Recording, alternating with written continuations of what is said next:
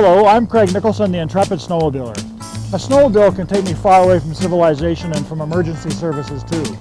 Since most snowmobilers don't file a tour plan, if something unexpected happens, it could be a while before help arrives.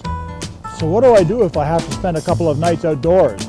Experts provide this priority list in order of survival importance. Shelter, fire, water, signal, and food. I give myself a fighting chance in the wilderness by carrying a survival pack with these basics.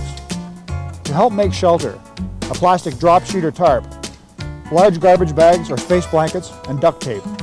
For warmth, fire igniters and starter materials like these cotton balls soaked in Vaseline. For water, a metal cup for melting snow or making a hot drink. For signaling, flagging tape and a signal device. For food, granola bars or trail mix. A sharp knife is handy too. I carry my fanny pack with me, so if I get separated from my sled, I won't lose my survival gear. Now all I have to do is figure out how to use all this stuff. For Snowmobiler Television, I'm Craig Nicholson, the Intrepid Snowmobiler.